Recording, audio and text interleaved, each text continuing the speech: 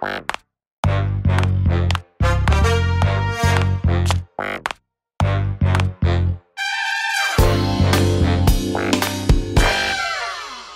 день, дорогие друзья! Вы на телеканале Том ТВ, программа «Разбор полетов». Меня зовут Александр Вальман, а вместе со мной в нашей тель студии э, замечательный политолог, мой коллега, э, друг, товарищ Александр Цинкер и по скайпу замечательный израильский писатель, публицист, э, драматург, сценарист, поэт Марк Котлярский. Марик, рада тебя приветствовать. Добрый день.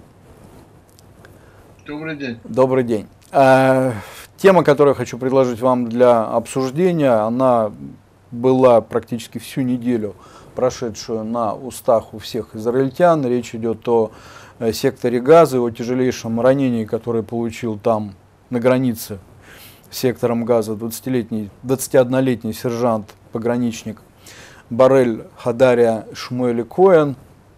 Террорист трижды выстрелил ему фактически в упор из э, пистолета через, грубо говоря, дыру, дырку в заборе безопасности. А, в связи с чем, естественно, возникло много вопросов и к ЦАЛу, и к правительству, а, который заявил, я имею в виду Нафтали Беннета, который сейчас в Соединенных Штатах, мы сведем счеты с теми, кто причиняет вред нашим бойцам и гражданам Израиля. Но а об этих угрозах мы поговорим чуть позже. А начать разговор я хотел бы с цитаты, с рассказа одного из пограничников. Цитирую. С одной стороны нам объяснили, что мы должны делать, если нам угрожает смерть. А с другой стороны нас предупредили, что мы должны запрашивать разрешение на открытие огня в исключительных случаях. Нам сказали, что вся стрельба документируется. Да. Даже, даже для того, чтобы получить разрешение на стрельбу резиновыми пулями, требовалось время – за это время сотни палестинцев достигли забора безопасности. Конец цитаты. Э, Саш, я, наверное, с тебя начну сегодня. Дело в том, что мы не так давно в нашей студии обсуждали совещание у начальника генерального штаба Авива Кахави. Тогда разбиралась история, не история, а деятельность э, центрального, руководства Центрального военного округа за то, что слишком э, рьяно они реагируют на э, террористов. Много подстреливают, много убивают. Скажи, пожалуйста, вот то, что сегодня мы обсуждаем, и то, что произошло, в какой-то степени это отголосок того совещания?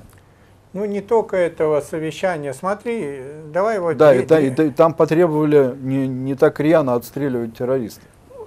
Окей, смотри, есть э, такая, две крайности, будем говорить. С одной стороны, это Министерства иностранных дел, который пытается все решить дипломатическим путем. И есть армия, которая по сути своей, она занимается, в общем-то, боевыми действиями. Если это противник, террорист и так далее, она должна применять силу. Э, правительство старается, в общем-то, выбирать пути, которые, значит, между двумя этими крайностями. Э, к сожалению, у нас по -по получился такой сосед, и надо выработать было какую-то технологию взаимоотношений. Э, поскольку но у нас там происходит, нет, происходит, года. происходит контакт непосредственный. Вот есть забор, и я видел этот кадр, я думаю, все его mm -hmm. видели. Просто была амбразура практически, подбежал, выстрелил, убежал. Значит, очень много говорили о том, что должен быть еще так называемый коридор безопасности. Что вот возле, после этой стенки должен быть еще какой-то определенный коридор безопасности, который простреливается, причем простреливается автоматически по системе фотоэлементов. Знаешь, есть движение и включаются э, определенные, определенное оружие. Вот если бы это так бы работало, то, во-первых, мы бы а, обезопасили определенных ребят, которые действительно на стыке, и, во-вторых, сняли вот эту напряженность, которая каждый раз перед тем, чтобы выстрелить, солдат думает, слушай, а что из-за этого потом угу. будет? Может быть, не стоит?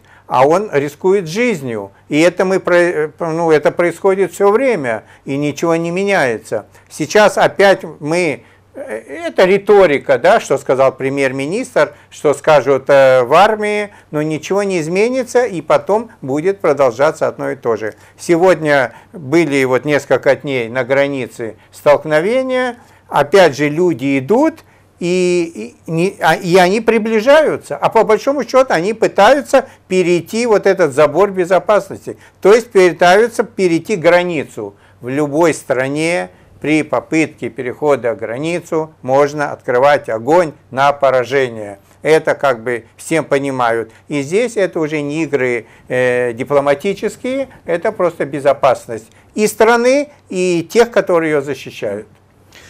Э, Марик, у меня к тебе вопрос другого плана. В ответ на так называемый инцидент после ранения нашего солдата, тяжелого, тяжелейшего ранения, э, ВВС Израиля нанесли, как нам объяснили, серию ударов по стратегическим объектам террористической группировки Хамас в секторе Газа.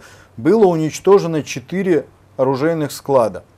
Э, в ответ по самолетам открыли пулеметный огонь. Я цитирую наши средства массовой информации, официальный пресс-релиз армии, э, армии Израиля. У меня сразу возникает, как человека гражданского, возникает несколько вопросов. Во-первых, была ли уничтожена эта огневая точка э, пулеметная, которая открыла огонь не, не просто так, а по самолету? Далее, почему нужно было ждать вот этого инцидента, вот этого тяжелейшего ранения с тем, чтобы уничтожить склады Хамаса, если мы знали, где они находятся? Э, у меня э, ну, когнитивный диссонанс. Поправь меня, может мне психиатру надо. Надо давно, всем нам вместе. Э, потому что давай начнем с другого. Давай, э, у тебя правильно поставленные вопросы, Саш. Не могу не согласиться, э, просто что точно поставлены. Но насчет когнитивного диссонанса. У меня когнитивный диссонанс начался гораздо раньше. Да?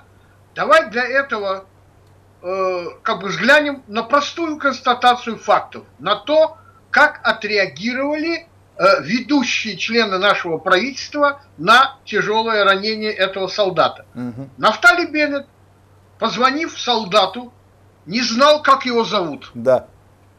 Более того, он не знал даже, в какой больнице лежит этот солдат. Я слышал этот разговор в переводе. Это стыдоба, которая вообще не укладывается ни в какие ворота. Премьер-министр звонит солдату, он не знает, как его зовут, и он не знает, в какой больнице он находится. Он не солдат, он отцу звонил. Солдат не может говорить. Он не разговаривал важно, с отцом. Он, э, э, да, с отцом. Я знаю, что с отцом. И отец ему отец сказал ему, тебе не стыдно? Да, он да. сказал Нафталину. Тебе не стыдно? Ты меня спрашиваешь, и тебе не стыдно, что происходит на границе? Второй момент.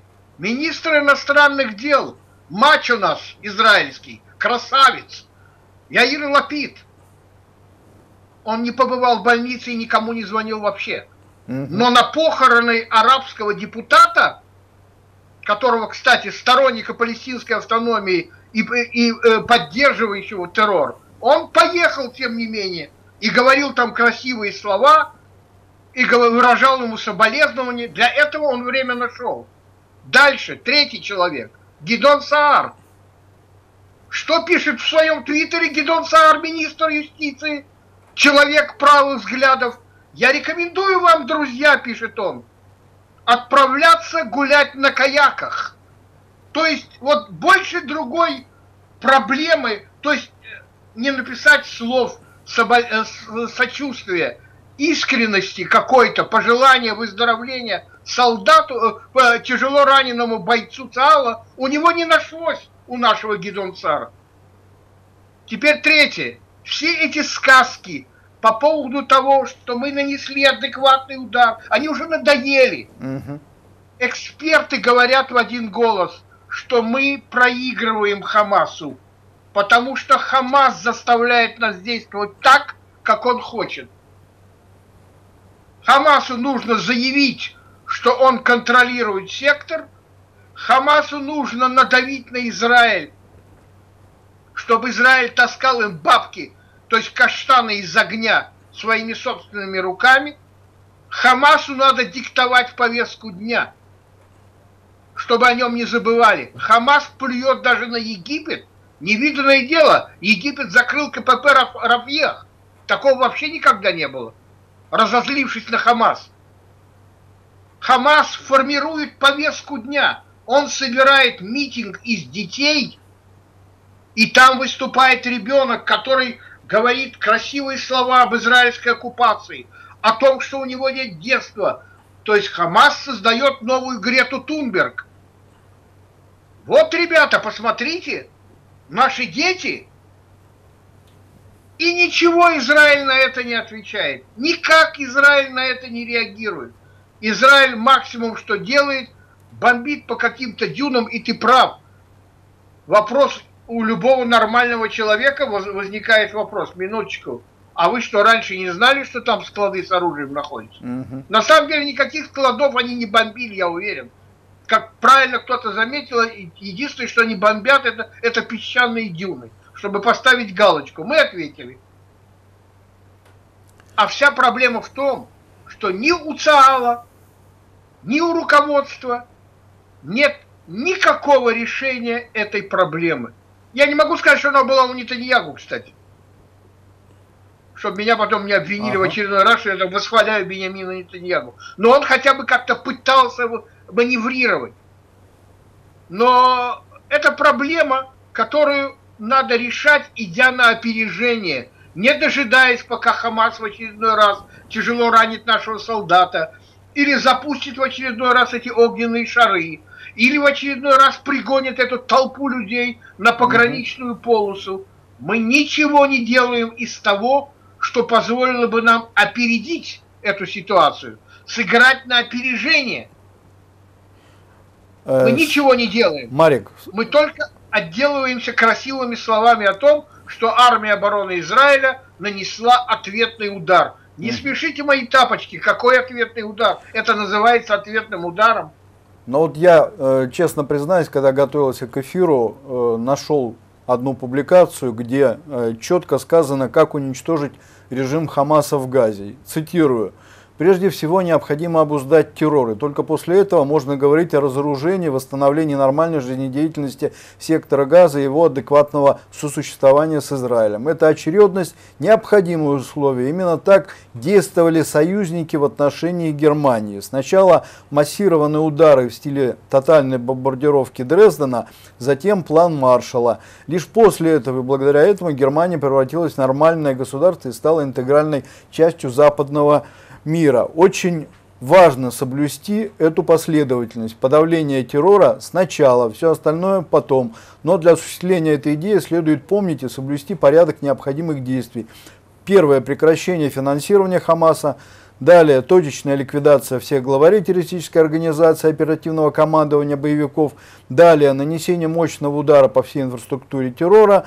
И далее После этого немедленное масштабное восстановление уже нового сектора газа, своего рода план Маршалла в ближневосточном варианте. Именно это то, что мы собираемся реализовать в следующей каденции Кнессете. Э, председатель партии НДИ, экс-министр обороны Авигдор Либерман. Дата публикации 4 апреля 2019 года. Я чего-то сегодня не слышу со стороны господина Либермана и этой партии подобного рода заявлений. Что им мешает это сделать сегодня? Когда был Биби, понятно, мешал Биби. Сегодня мешает Беннет. Саш. А, ну, во-первых, э, честно говоря, я вот еще не, вообще... я не знал, кого ты цитируешь. И я уже хотел тебя спросить, это какой-то фантаст, писатель или теоретик какой-то. Оказалось, это наш министр финансов, который был в свое время и министром иностранных дел, и министром mm-hmm. обороны, по-моему. Да, то. то есть он, значит, во-первых, он а, сравнил две вещи, которые не, не сравниваются. Это террористическая организация и государство. Есть проблема между этими двумя вещами, большая разница. Почему? Потому что есть какие-то правила, которые он, в принципе, правильно привел, войны между двумя государствами. Да, система уничтожается террор и так далее, так далее, так далее. Здесь же против нас выступает, будем говорить так, население сектора газа. половина, четверть, десятая часть, неважно. Они могут быть, с одной стороны, днем они где-то работать могут, а вечером идти стрелять. Или, или наоборот. Поэтому эта система, первый пункт, отпадает сам по себе. Потому что уничтожить вот это нельзя. Надо уничтожить практически э, определенную долю, большую причем, населения сектора газа. Поэтому, к сожалению, это так не работает. У нас получается два как бы варианта, которые всем понятно. Или вот эти перестрелки, которые, в общем-то, зачастую пустые, хотя иногда все же была какая-то более результативная борьба, когда были и точечные ликвидации, да. и какие-то, вот эта зона безопасности увеличивалась, и тогда туда не могли кто-то попасть. И вторая, самая тяжелая, самая результативная, но самая опасная, это когда вводятся сухопутные войска на территорию сектора газа. Понятно, что это может дать самый большой эффект, но, с другой стороны, почему армия это не хочет и правительство не хочет э, на территории самой густо населенного места в мире, уличные бои чреваты большими потерями среди наших солдат. Поэтому на этот шаг не идут. Но я не вижу другого. Не поставлена какая-то красная линия, что окей, мы сейчас пытаемся предотвратить все вот эти попытки террора и так далее, так далее, то, что у нас на, территор... на границе, но вот этого, вот этого но нет. Но если будет продолжаться или будут такие-то, такие-то действия со стороны Хамаса, мы вынуждены будем, и об этом должны знать все. Наши союзники, наши противники, потому что, чтобы потом не было как бы неожиданности. Мы предупредили, что от Кан до вот такого момента. После этого начинаются новые правила игры. И тогда не надо будет вот эти теоретические такие красивые описания, пункт 1, 2, 3, 4, 5, 7, 10 и так далее. Потому что эта теория, она не работает у нас здесь. Марик, э, к тебе у меня вопрос тоже на основании приведенной цитаты. Э, ты хорошо знаешь историю, ты много изучал историю. Насколько корректно сравнивать в этой ситуации бомбежку Дрездена с сектором газа, да еще привязывать к этому евреев, тем более, что бомбежка, бомбежка Дрездена в исторических документах до сих пор э, историки ведут спор, было ли это было ли это объективной необходимостью, было ли это актом устрашения Советского Союза или это было военное преступление. Что скажешь?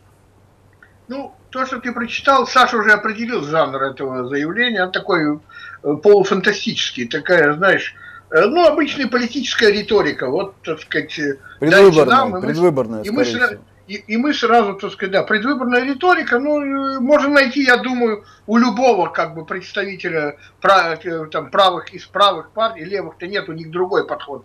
Они все, они больше потому, что все отдать. А, так сказать, но у правых партий можно найти любую воинствующую такого рода риторику, не только у того документа, который ты процитировал. А, значит, я когда-то говорил в одной из программ, но, наверное, повторюсь, и, и просто чуть-чуть разовью то, что говорил Саша. В Иерусалиме живет э, человек, которого зовут Мартин фон Крефель. Мартин фон Крефель, или фон Крефель, как правильно пишется, выходец из Голландии, репатриировавшийся в конце 50-х годов в Израиль, считается одним из крупнейших теоретиков военного дела в мире вообще.